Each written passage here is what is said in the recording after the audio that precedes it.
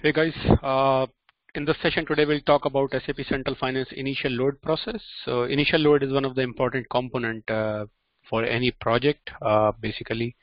So we'll talk about that what initial load is all about, how how it how it, how it works, what is the process.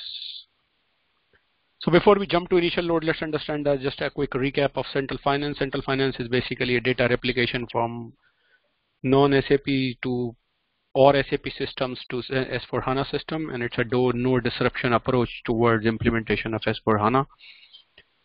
Uh, data is transferred from SLT, and there are several limitations as well in central finance, as we talked about in another video.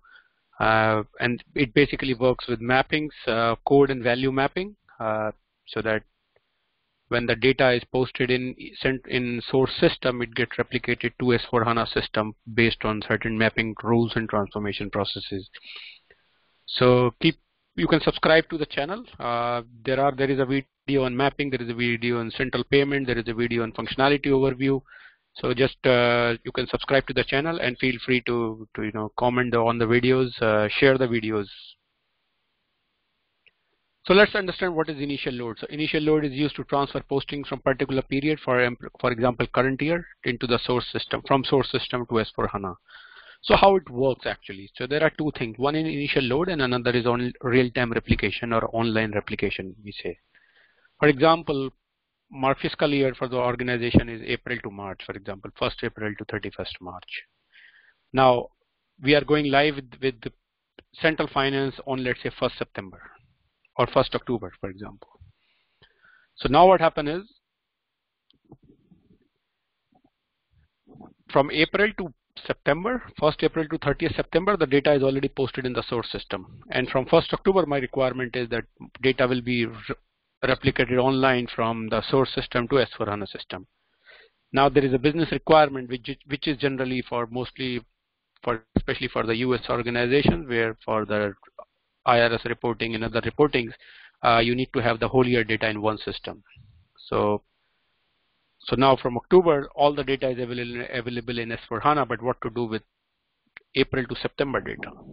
So that data can be replicated from an ECC system or any non-SAP system to S4HANA, and that replication is called initial load. So we are loading a bunch of documents. It can be thousands, it can be millions, depending on company requirement we are loading those documents as a migration activity, as a project migration activity when we go live. So we load all those documents from the source system to S4HANA system. So, and then from 1st October, the actual process starts. So in the S4HANA system, you have all the data actually from April to the whole year. So that's known as initial load. And as I mentioned, online replication. So from 1st October, as you said, your requirement is to have online replication. So any document being posted in ECC will immediately be replicated to S4HANA system. And whenever I say ECC, it means any source system. So just take it as any source system. So to start the replication, the initial load needs to be executed even if it is the POC. So when you do the POC, when we do the POC for the organization for central finance and we try to show the replication, it is a mandate to have a uh, initial load executed. So we don't want to e execute, you know, the initial load and takes time and then put all the lot of data in the system. So what we can do is for the POC, we can run the empty initial load. With that, it's a technical step. The initial load is completed. And then once that is done, we can start the online and the real-time replication from the system. Okay, so let's see what it is. So let's talk about sequence of initial load. So the sequence of initial load is very, very important actually. So let's understand what this is all about. So initial load of cost object mapping. So because any FI document you post, uh, most most of them have any cost object, right? Any cost center, internal order, project, project or anything. So it is good to have those cost object replicated first and then you replicate your accounting documents. So the steps are basically initiate initial load for cost object mapping, then you extract the load data for initial load you tell system okay I want for for this company code for this this is the period these are these are the company code then you monitor the extraction then you post the initial load into S4 HANA then you monitor the postings so then once FI postings are done then you do the initial load for CO postings So on the right hand side, you can see there is a menu. Uh, it says initial load execution for selected company code. Similarly, there is an initial load execution for all company codes. It is always good to have it by selection so that you understand and you monitor what is being transferred, what you did and what is happening. Key prerequisites of initial load are all mapping should be completed very important because otherwise things will fail. You have a GL account in, in ECC system and you don't have a mapping in S4 system. When you do the initial load, your GL mapping, your GL mapping will fail and your actually then initial load will fail. Logical systems are defined. You understand what is source system, what is your target system and clearing and substitution accounts are defined. So take it take this statement as of now. As it is clearing and substitution accounts. We will talk about this in in next few minutes you know what these accounts are. Initial load of cost objects. So what cost objects are existing in your source source system? It will be replicated to your S4 HANA system. And accounting posting as I mentioned are generally attached to the cost object so it is important to replicate cost objects and initial load for cost object is carried through SAP SLT. That's why we have a, in SLT we have two tables being replicated AUFK and COBK and it is recommended to do initial load before you execute the actual load. And it is also important to apply filters so that you know you only take the relevant data, not just everything and anything in your source system. So what is needed, just take that to ensure you do you uh, spend less time, you spend less efforts, and you have less work in reconciliations.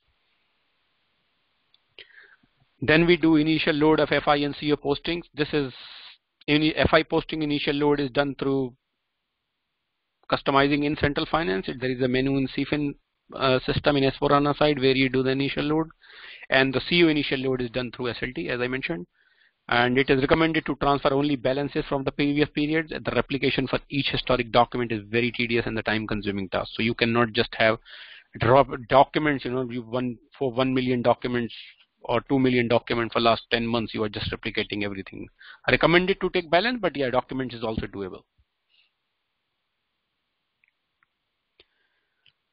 I just mentioned substitution and clearing accounts. What these accounts means is there are two, in the steps of initial load. So in the first step, all balances related to recon account like vendors, customers are transferred to their assigned substitution account. So if you have a vendor account balance, let's say 100,000, you transfer all that balance to the substitution accounts. And the next step, you have open item being posted to recon accounts and the offset is posted to substitution account. So once the initial load is complete, the balance of the substitution account should be zero because in two steps above, step one and step two, your substitution account should be zero. And same is for migration account. The migration clearing account should be defined for each company code and once balances are loaded, it should be zero. For example, you do a trial balance migration, you have debits, you have credits. So what you do is you debits credit should be clearing account and then you credits the debit should be clearing account. So at the end your debits and credit for all the relevant GL account balance match and the migration account gets to zero. So same thing we do here clearing and substitution account. So the way we defined here is we have a menu in central finance system we say define clearing and substitution accounts and we have like this for by company code we define what is my migration clearing account and on the or here if we come to this window define substitution account you double click this folder and by company code you can define the substitution account as well. So there is this this configuration setting is there under the under central finance CFIN IMG and then you have initial load and in the initial load settings you have clearing and substitution accounts so don't forget to do that when you do the initial load. And also just to iterate don't forget to subscribe the channel Nitin Gupta SAP for all lot of several videos. Okay, so reset initial load. So sometime what happened, we run the initial load, something goes wrong and we don't want to reconcile. It happens during the POC period, so we can, we may need to delete the initial load. So there is an option or a button in system where we can do initial load reset or initial load delete. And it's very obvious, you know, we, we need a lot of time when we do, we are doing the POC. And also it is important to look at the below notes uh, which for which are important for initial load. Uh, some are some are consulting and some are actually the error corrections, like error reset initial load not possible, reset initial load for table CFIN CUAD, and then correct initial load reset. So it is important to always refer to the relevant SAP notes and the new version so that you get the right right information at the right time. So if you want to delete the initial load, so you have a menu option, initial load for financial accounting, and then at the last you see the initial load is there And when you delete, you have option to what you want to delete. You want to delete by load group, you select the delete option and you mention the load groups. So load group is basically you make a groups of company code. Okay, like I have 50 company code worldwide. I'm saying 10 company codes of US are part of one load group. We create a load group. So on the top you see here, define initial load group. So we can define load group by company code. And it is good to have those company code part of same text procedures or same text settings, you know, for reconciliations or technical purposes. So you can delete initial load by load group or you can delete anything and everything. If you said delete all, it will delete everything. Then comes to reconciliation. So there is a standard transaction fins underscore cfin underscore load underscore comp, which means comparison, which is like, you know, the screen looks like this, matching report for expected postings in CU and actual postings. So you have logical sender system, you select company code and you put the GL account or you put the document date and you execute this report. So it gives you the headers like below. Company code, document number, GL account, business area, document date and all the fields comes and uh, it shows you what was supposed to be loaded from ECC and what is loaded in S4. So it's a reconciliation. Anything missing is highlighted in red. So you have a real picture why it fails, and then you can see the errors. You know what what happened, what why it fails when it failed. It is also important to understand. You know we have a testing process uh, for initial load. So we have a testing before go live, and then we have a go live. So it is very very key area actually to test and ensure that you do the real uh, dry run of the initial load. So the recommended options are in first scenario you have your test source system with the test CFIN system. So you have both the systems as test. You migrate the data. This will ensure to understand you know your configurations are correct, your mappings are correct, all those things are correct. The second scenario is you have to, it's not a scenario, it's a step basically, productive source system with test CFIN system. So you take all the data from your production ECC system and you load into central finance test system. That will ensure that your data quality is correct. All your latest mappings are correct. Might be your, in step one, your uh, source system of ECC might be, you know, of previous refresh and you, it does not have the latest data and you have a lot of new GLs, the new master data in the latest last from last one or two years. So in scenario two, what you can do is you can have a real productive system connected ECC connected to test S4 HANA and you can see the real how the data quality is working, what all you need to work upon. And once you're very happy and satisfied with scenario two, then it actually goes with productive core source system with productive central finance system. So it is very important to understand that you know testing should be done in these two scenarios before we go live, so that you know we work we at first step we check the configurations and the settings, technical setting. Then there's step two, we check the data quality, what's are how the real data is behaving.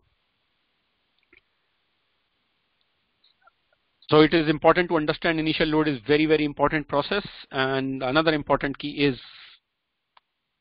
you have a YouTube channel. Free videos are there for mostly for central finance. All latest videos are coming up.